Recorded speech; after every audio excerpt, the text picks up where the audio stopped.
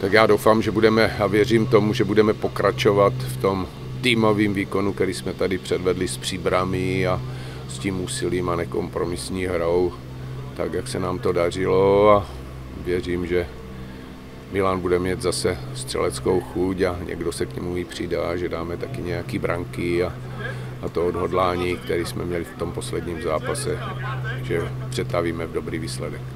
Naposledy jsem byl na Dukle, jo, to je vždycky specifický utkání na té Dukle. Viděl jsem mužstvo, který bylo omlazený, chyběl třeba Jindříšek, jo, chyběl Frišták v bráně a tak dále takže mužstvo se trošičku hledalo, ale jsou tam nebezpeční hráči, Mašek neustále vbíhá do těch volných otevřených prostorů. Eh, druhou půlku tam eh, přišel ten nový hráč z Bahrajnu, to je hráč, který umí hrát podle not, více fotbal, ví kdy zhodit, ví kdy zrychlit, ví kdy vystřelit, takže určitě tam ten hrotový hráč je velice nebezpečný. Tak ideální scénář je 6 bodů, dobrý scénář jsou 4 body, takže potom půjdeme. Tak máme dlouhý týden, že jo, a je to vždycky dobrý, když dáte doma tři góly, diváci, všechno, ale hned jsme to umírnili, ty euforie, druhý, třetí zápas, prostě Eh, víme, že jedeme na horkou půdu, dolíček je specifický, uzavřený prostor, diváci, prostě prostředí krásný fotbalový a já věřím, že, že to bude i krásný fotbal. To je, hráči dostali o den víc volna tam, že jo, se to otevřelo, ale oni mají sport takže oni si splní zatížení.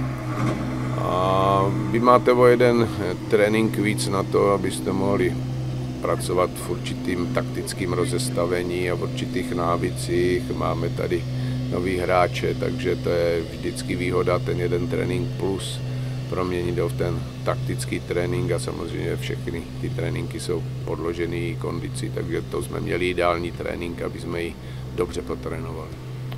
Tak začátek tam byl, pár věcí, které nám tam utekly, Eh, kdy ten soupoř sám zahrozil, když jsme nechali Matouška nám vyjet jeden na jednoho, takže to bylo spíš v chybí v nějakém postavení nebo zaspání v návratu, takže to jsme si ukázali a e, i na Bohemce jsou to mm, někteří hráči mají rychlí, šikovní, takže tam si na ně musíme dát pozor v tomto. Um, já myslím, že procházka už je v plném tahu, takže to je pro nás pozitivní máme kvalitní stopery nachystaný, on je ten, který může být tam a může taky přímo nám tam naskočit pomocí těch fázích. A to už je vytvořená velká konkurence do té stoperské čtveřice.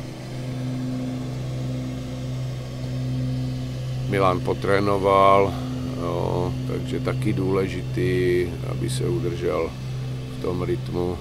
Já myslím, že že to mužstvo je v pořádku a chybí nám akorát i dlouhodobě zranění, takže tým je pohromadě a máme 19 hráčů do pole plus 3 golmany.